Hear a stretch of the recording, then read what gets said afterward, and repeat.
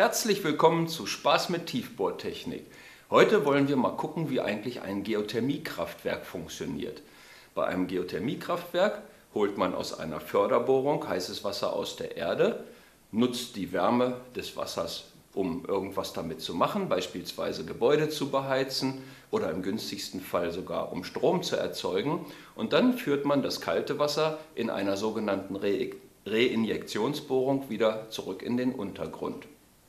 Tja, die Wärme des heißen Wassers nutzt man normalerweise nicht direkt, sondern indirekt, indem man das heiße Wasser durch einen Wärmetauscher schickt, wo die Wärme auf eine andere Flüssigkeit übertragen wird. Das kann zum Beispiel Ammoniak sein. Ammoniak hat einen sehr niedrigen Siedepunkt und in diesem Wärmetauscher fängt das Ammoniak also heftig an zu kochen und es entsteht Dampf, der mit sehr hohem Druck aus dem Wärmetauscher herausströmt. Und diesen Dampf benutzen wir, um, so ähnlich wie das hier hinter mir zu sehen ist, eine Turbine anzutreiben, die sich dann mit sehr hoher Drehzahl dreht. Und an diese Turbine ist ein Stromgenerator angeschlossen, so ähnlich wie ein Fahrraddynamo.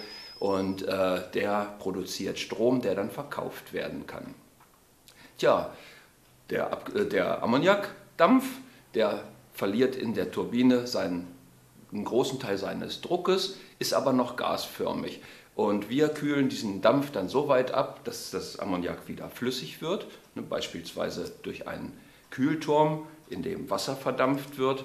Und mit einer Pumpe bringen wir den Ammoniak wieder auf äh, den hohen Druck, der erforderlich ist, um ihn im Kreislauf zu verpumpen. Das ist schon mal das Wichtigste, was ein Geothermiekraftwerk zu bieten hat. Wir brauchen aber große Mengen Wasser, das wir aus der Erde holen und wieder verpumpen. Und normalerweise kommt das Wasser ja nicht selbst aus der Erde und es lässt sich auch nicht von selbst wieder im Boden verpressen. Und deswegen haben wir in der Förderbohrung und meistens auch in der Reinjektionsbohrung große Pumpen, die aus dem Strom äh, gespeist werden, den das Kraftwerk erzeugt. Ja, und damit haben wir schon die wichtigsten Komponenten eines Geothermiekraftwerks beschrieben. Hier auf diesem Bild sehen wir, wie so eine Installation aussieht. Es ist eine sehr kompakte Einheit, die eben, wenn überhaupt, nur Wasserdampf aussendet. Und das bedeutet, wir haben keinerlei schädliche Abgase oder sowas. Und das macht ein Geothermiekraftwerk so umweltfreundlich. Ein tatsächliches Geothermiekraftwerk ist natürlich noch ein kleines bisschen komplizierter und komplexer. Und äh, wer genau wissen will, wie das alles funktioniert, der kommt in unsere Vorlesung Geothermische Energiegewinnung nach Freiberg. Wir freuen uns auf euch. Glück auf!